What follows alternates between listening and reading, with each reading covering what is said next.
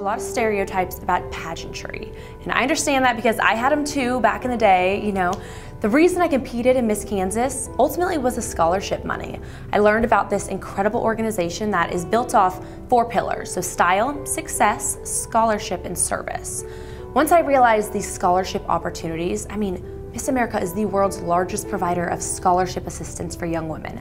That's incredible.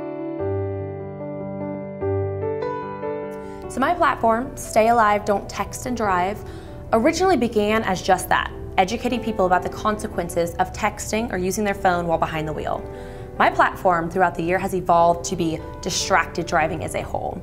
So once I won Miss Kansas, I formed partnerships with the Kansas Department of Transportation, the Kansas Insurance Commissioner, and the Kansas Highway Patrol. So I do work for all of them, serving as a spokeswoman against distracted driving.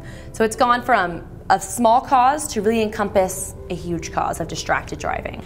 My thing is, if just one person hears that message and chooses not to use their phone or chooses not to put lipstick on while they're driving, you know, if it just saves one life, then it's all worth it. The whole point of being Miss Kansas or being Miss America is to have a heart of service, is to go out there, serve your community, to be so much more than just beauty. There's so many stereotypes too about women these days that if you're beauty, that's it. There's no brains in there. Miss America is about combining that beauty and the brains together. Break the boundaries, break those stereotypes, and be who you are. Give back to the community. So, no matter what people think about Miss America, it's about being who you are. It's about making it relevant every single day.